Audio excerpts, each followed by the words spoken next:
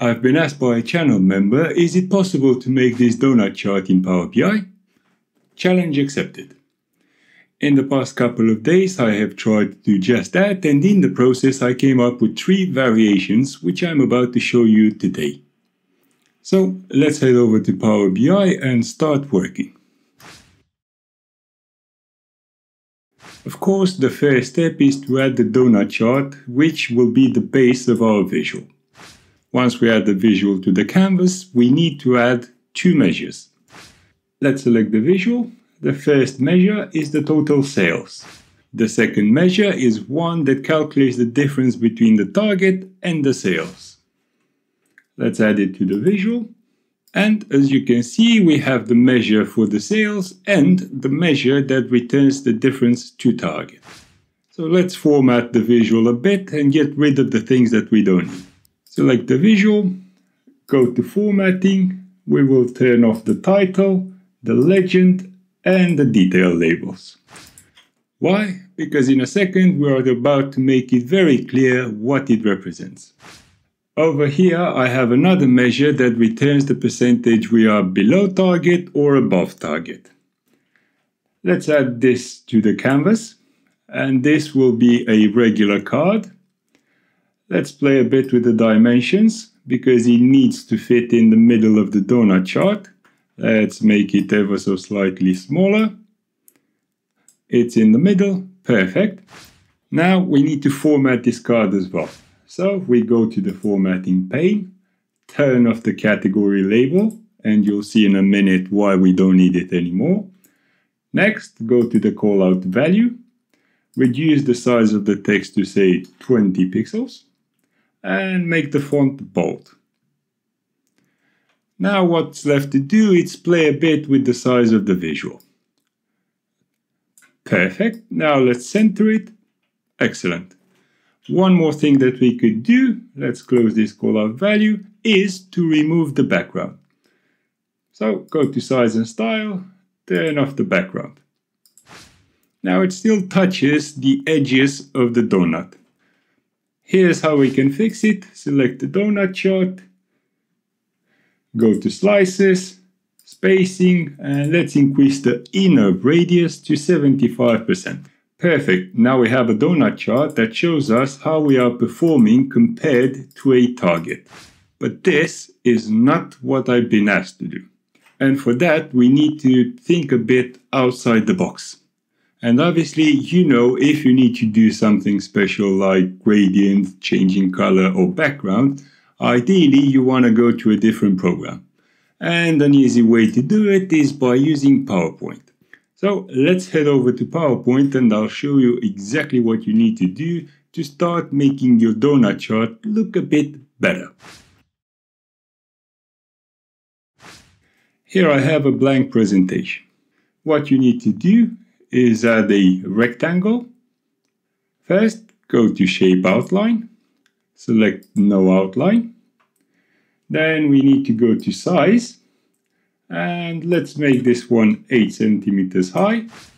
Doesn't really matter what height you make because obviously we will reduce it or increase it based on our need later. And for width we will go with half a millimeter, 0.05. Now that we have this we need to copy it and make nine more copies of it. Three, four, five, six, seven, eight, nine. Perfect. In total, we should have 10. We will use this and rotate them to create the sensation of percentages. Usually the rotation for a percentage should be 3.6 degrees, so that the 100 rotations will do 360 degrees, the radius of a circle. So Let's select the first copy. Let's go to size and properties. And let's put in 3.6. Well, we have a problem. As you can see in PowerPoint, we can only use integers, no decimals when it comes to degrees.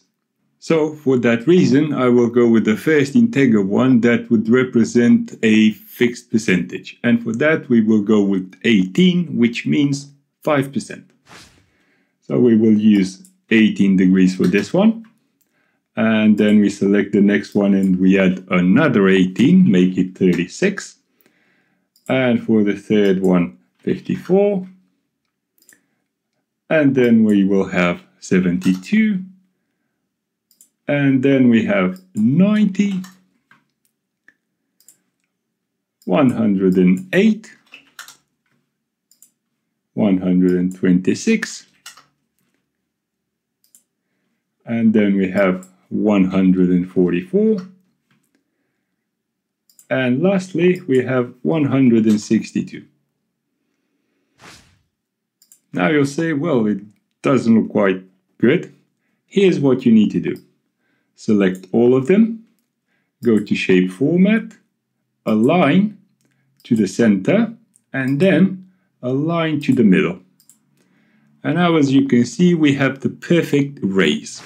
The next thing that I want to do is increase the width for the 10%, 20%, and so on. So we will select the first line and then the 10% and 20 and 30 and 40. And we will go to size and instead of half a millimeter, we will use one millimeter. Now those 10, 20, 30, 40 and so on percentage stand out a bit more. Next thing that I want to do is remove the bit in the middle, but keeping the ones for the 0 slash 100, 10, 20 and so on a bit longer than the other one. And here's what you need to do. First, let's select the thicker line. And once they will all be selected, we head over to shape format and then union. Now let's select the thinner one and repeat the process. Excellent. Merge shapes, union. Now if, if we select one, we can move all the lines in one go. Let's move it back. Now, as I said, we want to remove the part in the middle. Let's add an oval.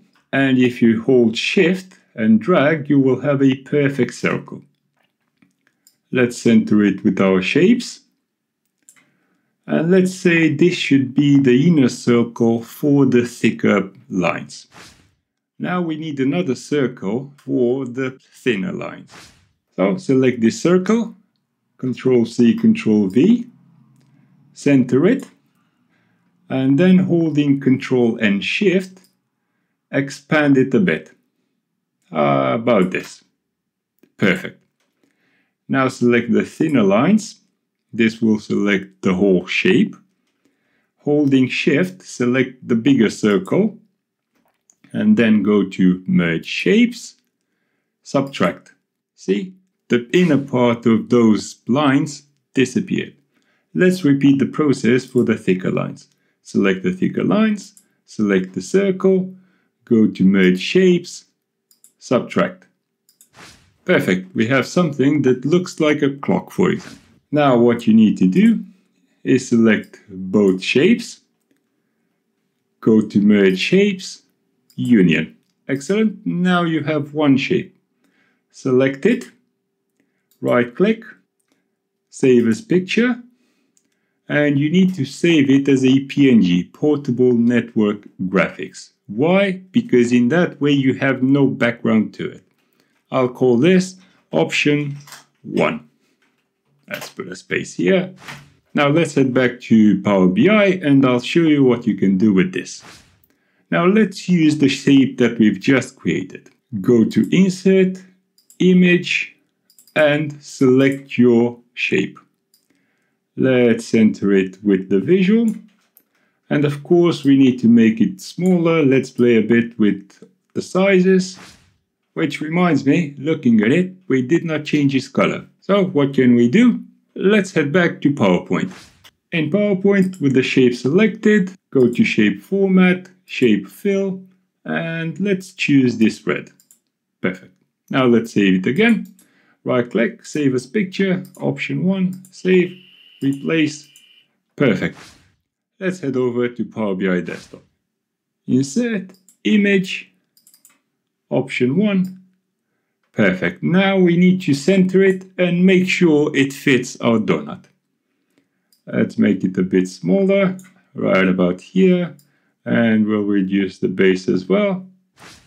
Now you see you have the image on top of the donut. Now if we select the donut, we can play with it a bit more and we can go to slices, spacing. We can increase the inner radius to let's say 80 to match the smaller lines. Maybe looking at it 82. Perfect. We can change the color. So we can say the total sales we will use green and for two target we will use white just as the background. So this would be one option. Not necessarily my favorite, but this is something that you can do. Now this, on the other hand, gave me an idea of doing something that could be a little bit more interesting. Let's head back to PowerPoint and I'll show you exactly how to create the second variation. Now let's duplicate this page now for this option, I would like to keep only the space between the lines so that we can create the illusion that we have blocks that get filled by the sales. So for this, there's a little bit more work. First, we need to add a circle that will be slightly smaller than our shape. Here's how we can check. We can create the circle, go to send backward and send to back. Now holding Control and Shift, we can make it ever so slightly smaller. Perfect. Then we need to copy this, paste it, center it, and then we need to make it smaller just enough to cover the inner lines. Now select the first circle, the bigger one, then the second circle, the smaller one, go to merge shape, subtract. This will remove the inner space. Now with the circle selected, select the other shape, merge shapes, subtract. Next thing that we want to do, we want to remove the shape outline. Perfect.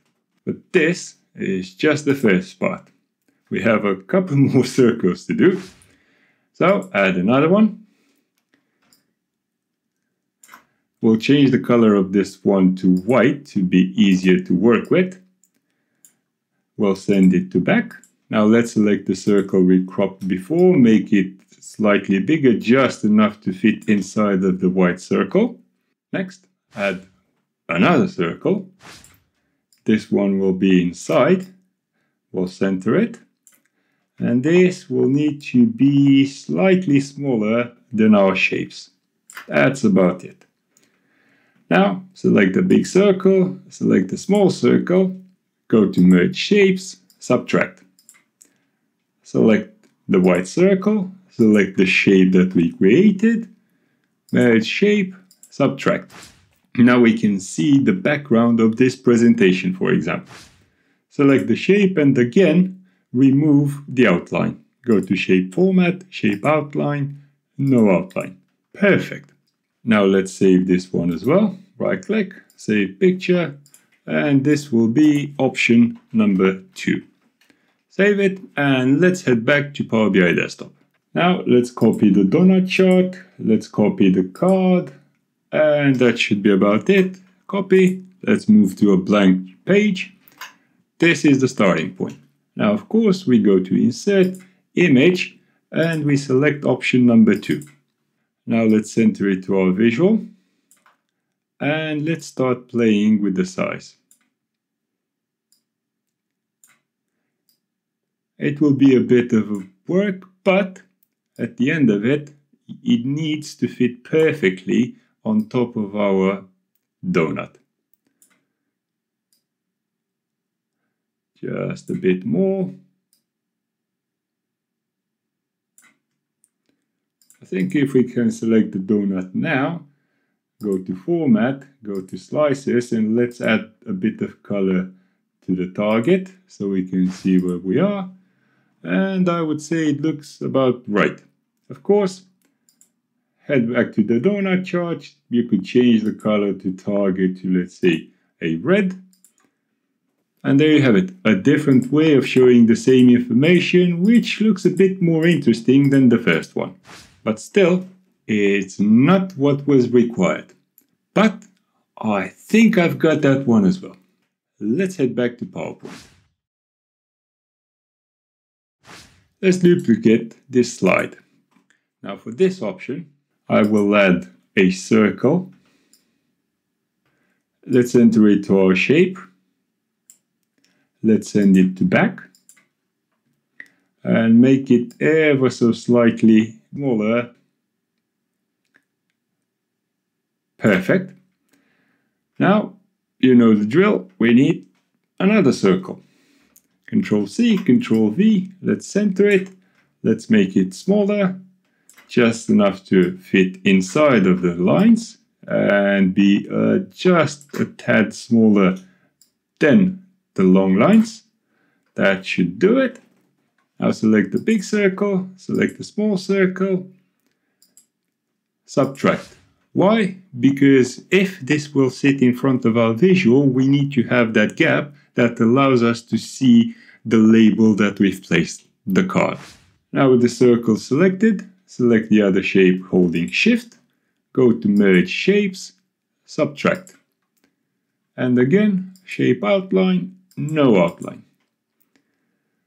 Now what we need, we need this to be the same color as the background, in our case white, so the shape fill will be white. Let's save this visual as, as well, save as picture, and this will be option number three.